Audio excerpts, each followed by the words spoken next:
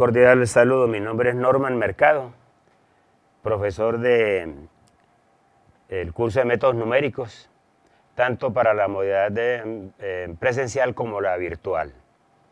Eh, empezaré una serie de, un total de 20 videos correspondientes al curso de métodos numéricos.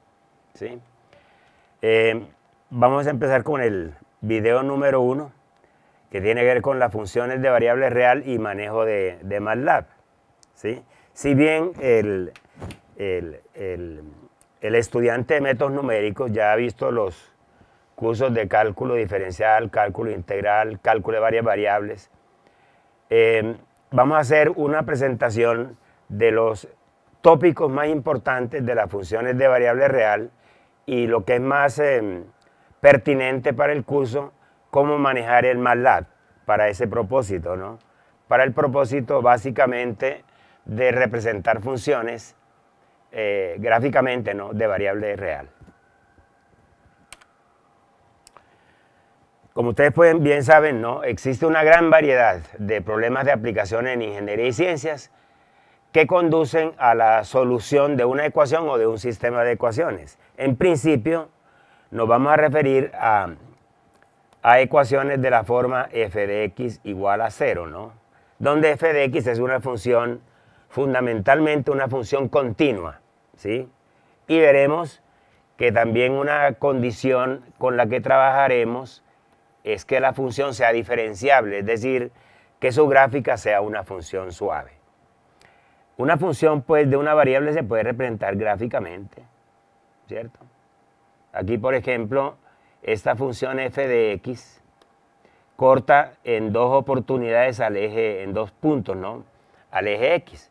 Esos puntos de corte de la gráfica de la función con el eje de abscisas, o sea, con el eje x, hacen que resulte la ecuación f de x igual 0. Y estas son las soluciones de la ecuación. La solución 1 y la solución 2. ¿sí? Normalmente, no es posible encontrar de manera exacta el, valor de la variable x que haga que la función sea cero, es decir, la solución de la ecuación. Nuestro objetivo, nuestro objetivo en esta primera parte del curso de métodos numéricos es determinar de manera aproximada aquellos valores de, eh, aquellos valores de x en donde la función es aproximadamente igual a cero. O sea, eh, son métodos numéricos que me permiten hallar no la solución exacta, sino la solución aproximada de una ecuación de esa forma. En el caso de la figura 1, por ejemplo, tenemos que esta función f de x, que por supuesto no es diferenciable en x igual c, porque allí eh, se presenta un cambio brusco en la pendiente, pero sí es una función continua. Y para ese efecto, esta función f de x tiene o presenta dos cortes con el eje de abscisas. Uno que está en el intervalo AB, ¿cierto? Y otra que está en el intervalo BC. Esas dos raíces, R1 y R2, tenemos el propósito pues, de, determinar esos valores, por lo menos de manera aproximada, R1 y R2. Hay un teorema ¿cierto? Que se llama el teorema del valor intermedio, que fue estudiado en el cálculo elemental de diferencial, que dice que si entre dos puntos AF de A y BF de B se presenta un cambio de signo y la función es continua, ¿no? AF de A y un punto BF de B. Si la función pasa del punto AF de A al punto B y es continua, necesariamente cortará al eje de abscisas, ¿no? al eje X. Esa se llama la raíz de la ecuación. Básicamente, si la función es 1 a 1, en ese intervalo, ¿no? en el intervalo AB, si es 1 a 1, habrá exactamente una raíz en ese intervalo. Desarrollaremos entonces unos métodos que nos permitan determinar, ¿cierto?, una raíz aproximada de una ecuación de la forma f de x igual 0. Hacemos esta definición, ¿no? se dice que x sub k es una raíz aproximada de la ecuación f de x igual a 0 si se verifica que la función evaluada en xk en valor absoluto, ¿no? sea menor que una tolerancia preestablecida. Esa tolerancia es del orden de 10 a la menos 2, 10 a la menos 3, 10 a la menos 4, etcétera, dependiendo del, grado de aproximación que se desee. Por ejemplo, esta ecuación x cuadrado menos 2 igual a 0, la raíz exacta será x igual raíz de 2. Pero recuerden que raíz de 2 es un número irracional, ¿cierto? Entonces podemos encontrar un valor aproximado de la raíz como un número racional, digamos 1.4142, que no es la raíz exacta pues, de, de 2, es un valor aproximado. 1.4142 es un número racional, ¿cierto? Pero que se aproxima de una buena manera al valor exacto de la raíz. Eh, el error que se comete es del orden de 1,36 por 10 a la menos 5. ¿sí?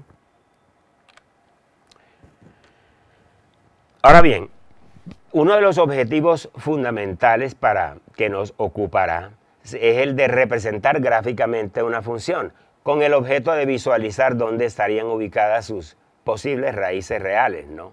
¿Sí?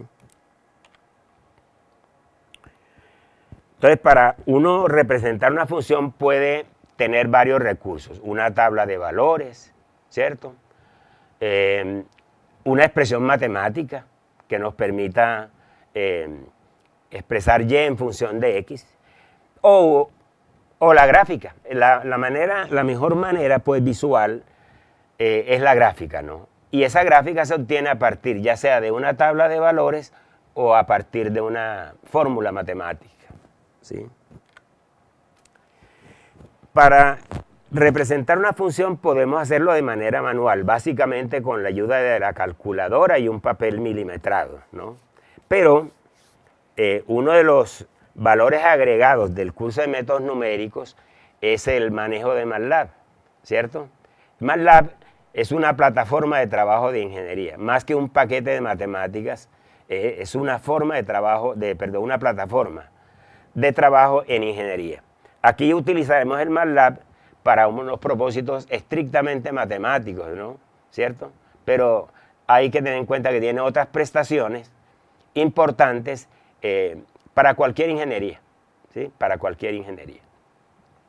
Hablemos en principio de los operadores, ¿no? ¿Cuáles son los operadores eh, que utiliza MATLAB?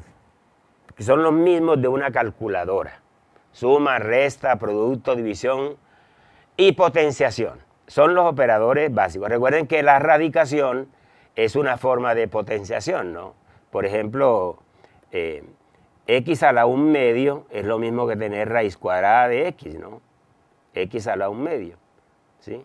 O sea que, eh, de acuerdo con lo que veremos, si x es un escalar, x gorro 0.5 me retorna la raíz cuadrada de x con un número dado de, dígitos decimales, ¿no? de acuerdo con el formato con el que se trabaja en MATLAB, que puede ser un short, un formato short, que eh, arroja cuatro dígitos, o un long, formato long, que arroja hasta 20 dígitos, ¿cierto? Aquí nos acostumbraremos a utilizar el, el format short, ¿sí? O sea, el formato corto, pues. Esos operadores son para las cantidades escalares, o sea, cuando yo voy a operar dos cantidades que son escalares, la suma, la resta, el producto, la división y la potenciación tienen esta estructura, ¿no? Por ejemplo, 3 em, a la 2 más 6 me retornaría 3 a la 2 que es 9 más 6 daría 15. ¿cierto? O si tengo 5 es las 2 más 3 a la 4. Mm, Me daría 5 medios más 3 a la 4 que da 81. Sería el resultado que me arroja, ¿cierto? Esto es en lo que respecta a los operadores cuando los operandos, ¿sí? Son escalares, ¿sí? cuando las cantidades operadas son escalares esta es la sintaxis para esos operadores suma, resta, producto, división y potenciación. Pero MATLAB tiene la habilidad de, además de operar sobre escalares, puede operar sobre vectores. ¿sí? Cuando es, obviamente los vectores deben tener la misma dimensión. Por decir, si yo declaro el vector x, que tiene como elementos 2, 3, 1, menos 5, y otro y, ¿cierto? Que es, por decir, 1, 2, 3. 2, 3, 4, quiero decir. Deben tener la misma dimensión. La suma de los, de los dos vectores me daría la suma de los, ¿cierto? De los diferentes elementos. 2 más 1, 3 más 2, 1, menos, 1 más 3 y menos 5 más 4. Si los quiero multiplicar, entonces necesariamente el producto ya no es simplemente X gorro Y, sino X punto gorro Y. Cuando se trata de multiplicar. Y si yo digo X punto gorro Y, me daría un vector de, también de cuatro elementos que daría 2 por 1, ¿cierto? 3 por 2, 1 por 3 y menos 5 por 4. ¿sí? Lo mismo se puede hacer la división, ¿cierto? Solo que en el dividendo, eh, eh, perdón, el divisor quiero decir, eh, el de abajo mejor dicho, no puede tener ningún elemento que sea cero porque daría una indeterminación. Esos son entonces los operadores. Producto, división y potenciación, esos operadores irán precedidos de punto en el momento en que vaya a operar sobre vectores. ¿sí? sobre vectores.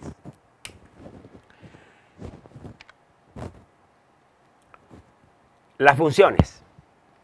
Recuerden que la calculadora de ustedes que disponen tiene logaritmo exponencial, raíz cuadrada, seno, todas las funciones trigonométricas, las trigonométricas inversas, las hiperbólicas. Lo mismo ocurre con MATLAB, ¿cierto? Las mismas funciones de cualquier calculadora, con la eh, la prestación adicional que se puede operar sobre vectores, ¿no? ¿Cierto? Entonces, son, ¿cuáles son esas funciones? La raíz cuadrada, SQRT, la función exponencial natural, o sea, cuando yo digo e a la 3, la sintaxis en MATLAB será exp y entre paréntesis 3. Eso me da e a, e la 3, ¿no? La función logaritmo natural, que en en matemáticas ustedes ven que la simbolizan como LN. Para MATLAB la sintaxis es L o G. Ahora, si me voy a referir a al logaritmo en base 10, se escribe L o G 10 y me retorna, ¿cierto? Por ejemplo, L o G 100. Logaritmo en base 10 de 100, él me debe retornar el valor 2, ¿cierto? Que es el logaritmo de 100 en base 2. O log 2 de 8. Me debe retornar 3 porque el logaritmo en base 2 de 8 es 3. ¿Por qué? Porque 2 a la 3 es, es 8. Además tenemos las funciones trigonométricas elementales, ¿no? Seno, coseno, tangente. Normalmente las funciones cotangente, cosecante y secante, ¿cierto? Si bien aparecen en el menú de MATLAB, pues no son funciones que aparezcan muy a menudo en las expresiones matemáticas que resultan, digamos, de modelos de aplicación. Pero de resultar, pues eh, simplemente se, eh, se invocan como sec, CSC para la cosecante y cot para la cotangente. Todas estas funciones, si se rematan con h, me dan las funciones hiperbólicas, ¿cierto? Tan h de x me da la tangente hiperbólica de x, Em, las funciones inversas se preceden de A. A sin, A cos, A tan, me dan la tangente inversa, ¿cierto? Que en la literatura normal en matemáticas, por ejemplo, si yo me quiero referir al seno inverso, uno escribe seno a la menos uno del argumento, pues, o arc seno. En MATLAB simplemente se antepone la A. ¿sí? Ahora, esto es la parte gruesa del tema del video de hoy, de este momento, pues, ¿sí? Cómo representar gráficamente una función usando MATLAB. Recuerden que las pautas para uno representar gráficamente una función es establecer primero el dominio, ¿cierto? Obviamente el dominio para representar gráficamente una función debe ser finito, es decir, entre dos valores eh, de la variable x. ¿sí? Entonces, ¿qué se hace? Lo que uno hace normalmente es dividir el intervalo AB en n subintervalos para establecer lo que llamamos el tamaño de paso. Por decir, si A vale 2 y B vale 5 y n es 20, por decir algo pues, entonces el tamaño de paso será 5 menos 2 sobre 20, o sea, 3 veinteavos. Sería el tamaño de paso para hacer la representación gráfica de, de una eventual función, ¿no? en ese intervalo y con ese número de particiones. ¿sí? Por supuesto que cuando uno hace el trabajo manual, tiene limitaciones para hacer la tabla de valores, ¿sí? X, Y, y es justamente el trabajo que uno eh, tendría que hacer para un gran número de datos. ¿no? Normalmente en una primera gráfica uno toma un pequeño número de datos y luego para mejorar la gráfica aumenta o genera más, más datos de la función. Se entiende que se está, dado, está dada la expresión matemática para la función. Entonces se generan dos vectores. Un vector X, que en MATLAB se genera así. Desde A dos puntos H dos puntos B significa que va desde A hasta B con tamaños de paso H. Por decir, eh, si A vale 0, B vale 2 y n vale 5, entonces el tamaño de paso será 2 quintos, o sea 0.4. Eso significa que el vector x tendrá 0, 0.4, ¿cierto? 0.8, 1.2, 1.6, hasta, hasta 2. O sea, 1, 2, 3, 4, 5 y 6 datos. Para cinco intervalos hay seis datos. A cada valor de x le corresponde un valor de y, evaluando la función en, esos puntos. ¿no? Por decir, si la función f de x es 2 a la x, ¿sí? Entonces el vector y que debo generar será 2 a la 0, que es 1, 2 a la punto 4, eh, que ya saben que con calculadores 2, gorro, 0,4 o con la calculadora, pues, etcétera, ¿no? Y luego simplemente hacer un plot. A partir de la tabla de valores, XY, hacer un, un plot y representar gráficamente, que es el último paso, pues. Como les digo, este proceso se puede hacer de manera manual, ¿cierto? Pero vamos a introducir el MATLAB para ese propósito. Entonces, por decir algo, la función 2 a la x más x menos 4 en el intervalo menos 1, 3. Entonces podemos evaluar una tabla de 5 datos igualmente espaciados en el intervalo, ¿cierto? Y tomando tres cifras decimales. Para que sean 5 datos, n debe ser 4. O sea que el tamaño de paso será 3 menos menos 1 sobre 4. O sea que el tamaño de paso es 1. Significa que el vector x será menos 1, 0, 1, 2 y 3. 5 datos. ¿sí? Em, las, em, em, las operaciones se hacen para tomar tres cifras decimales con aproximación, pero pueden ser más, ¿cierto? O, o menos. Aquí tenemos, por ejemplo, con la calculadora, cuando k vale 1, la x vale menos 1 y la y vale menos 4,5. Y así sucesivamente, ¿no? Esta es la tabla de valores. ¿Sí? Y aquí aparece la gráfica. Miren que la gráfica es una gráfica segmental, vea. ¿Sí? No es una gráfica eh, suave en apariencia porque estamos tomando muy poquitos datos. Pero al tomar un número suficiente. Esto es lo que aparece cuando uno utiliza MATLAB, ¿no? Declara el vector X, declara el vector Y. Recuerden que como X es un vector, 2 a la X es 2 punto gorro X. Eh, con base en lo que les explicaba hace un rato, ¿no? X transpuesta, coma Y transpuesta me da la tabla de valores. Y la gráfica es la misma mostrada aquí previamente. ¿Sí? Esta gráfica está manipulada, ¿no? O sea, yo le, agregué los ejes coordenados, ¿cierto? Pero la que me entrega MATLAB es una gráfica simplemente con las particiones en la medida en que uno le diga grid on. ¿Sí? Aparecen las cuadrículas. Aquí, en el curso teórico y en el curso que dicto para la virtual, yo a los muchachos les entrego una serie de programitas, ¿cierto? Para representar gráficamente una función, cualquiera que ella sea, ¿sí? Siempre y cuando se establezca claramente cuál es el, dominio, o sea, de dónde a dónde y el número de, particiones.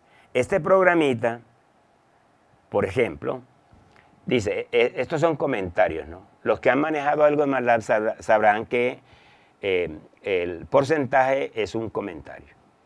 Programa para representar gráficamente una función f de x. Se entra la información, se entra A, B y N. Y la función, por supuesto, ¿no? Se calcula el tamaño de paso. Se genera el vector X y se genera el vector Y. Se digita la tabla de valores, se hace la gráfica y se le colocan las cuadrículas. Aquí este plot XY va sin la traspuesta, ¿no? Plot XY simplemente. X, X em, así y Y así me da la traspuesta. Por decir, si X es 0, 1, 2, 3, X transpuesta será un vector columna. Que a la vista es más agradable, la tabla de valores así, ¿no? En forma de columna. Aquí está el ejemplo 4 ya se hizo con 10 particiones, ¿cierto? La función es 2x coseno de 2x más 1 más 1. Entonces recuerden, ¿cierto? Que cuando se invoque el programa, la función hay que declararla de esta manera, entre apóstrofos y escalar, ¿cierto? Entonces aquí aparece la tabla de valores, una gráfica hecha con 10 particiones de muy mala calidad. ¿Cierto? Por lo que les decía, ¿no? Pero aquí la gráfica número 4 de la figura 4 ya muestra una gráfica, digamos, con 100 intervalos. Entonces ya es imperceptible, ¿sí? En la gráfica ya prácticamente aparece la función continua, que es la ventaja de tener un programa, ¿sí? Que haga automáticamente los cálculos. Ahora, de, todas las funciones, una de las más importantes funciones del, cálculo aplicado a ingeniería y ciencias, ¿no? Es la función polinómica, ¿sí? El, polinomio después de grado n. Estos coeficientes a sub 0, a sub 1, a sub 2, etcétera, son números reales, ¿sí? Y la gráfica de un polinomio, por ejemplo, cuando el grado es 1, eh, recuerden que da una recta, cuando el grado es 2 da una parábola. Ya para grados mayor que el tercero, la, gráfica del polinomio puede presentar ondulaciones. Por ejemplo, esa sería la gráfica de un polinomio de grado 3, que tendrá tres raíces reales, no siempre. Porque, por ejemplo, este que es un polinomio de grado 4 no tiene raíces reales. Las, raíces, las cuatro raíces eran complejas de acuerdo con lo que estudiaron en, matemática operativa o álgebra y trigonometría. Aquí recuerden que la, función cuadrática, su gráfica es una parábola, y la parábola puede ser que corte dos veces al eje, ¿sí? o que lo toque una vez, en el caso las dos raíces son iguales, o que simplemente no la corte. ¿no? Ahí no tendría raíces reales. Con MATLAB, uno, y esa es una de las ventajas de MATLAB, uno puede encontrarle las raíces a cualquier polinomio, simplemente con el comando roots. Primero se declara el polinomio como un vector. los coeficientes, ¿no? Por decir, si tenemos este polinomio, ¿no? x4 menos 2x3 más x2 menos 2x menos 3, que es un polinomio de grado 4 y que de acuerdo con el teorema fundamental debe tener cuatro raíces, aunque no necesariamente todas reales. Puede haber dos reales y dos complejas, o las cuatro pueden ser complejas. ¿Sí? Entonces, uno hace una tabla de seis valores en este intervalo, ¿cierto? Ubica las raíces y luego usa el comando MATLAB, el roots, para hallarle las raíces. Aquí está la tabla de valores, ¿cierto? Se puede establecer de acuerdo con el teorema del valor intermedio que entre menos 1 y 0 hay una raíz. ¿Por qué? Porque hay un cambio de, un cambio de signo perdón, en, la, en la función. Lo mismo entre 2 y 3. Hay un cambio de signo, por lo tanto, ¿cierto? Allí habrá una raíz. ¿Cómo hallo las raíces? Defino, ¿cierto? Declaro el vector P con los coeficientes. Un vector fila. 1 menos 2, 1 menos 2 menos 3. ¿Sí? 1 menos 2, 1 menos 2 menos 3. Roots P y me da las cuatro raíces. En efecto, 2.22 de sentido es la raíz que está entre 2 y 3. Y esta es la raíz que está entre menos 1 y 0. Las otras dos son raíces complejas conjugadas. Ahora, ya, ya hay situaciones del cálculo que eventualmente sean importantes para, para la aplicación en particular. Por decir, si yo quiero encontrar los máximos y los mínimos relativos, entonces tengo que hallarle la derivada a la función, igualarla a cero y encontrar los puntos en donde la función tiene un máximo o un mínimo relativo. Y con la segunda derivada me da una idea de la concavidad, donde la curva es cóncava hacia abajo dónde es cóncavo hacia arriba y dónde están los puntos de inflexión. ¿Sí? Por ejemplo, para ese ejemplo que les acabo de indicar, por aquí, por aquí hay un punto de mínima, ¿cierto? ¿Y dónde estarán los puntos de inflexión cuando haya cambios de concavidad? Por aquí se ve que la curva es cóncava hacia arriba y en algún momento se vuelve cóncava hacia abajo. Entonces, por ahí en alguna parte hay un punto de inflexión. A partir de las funciones polinómicas podemos definir las funciones racionales, que es el cociente de dos polinomios, un polinomio arriba y un polinomio abajo. Eh, los ceros de la, de la función racional son las raíces del numerador, ¿sí? y los polos son las raíces del denominador.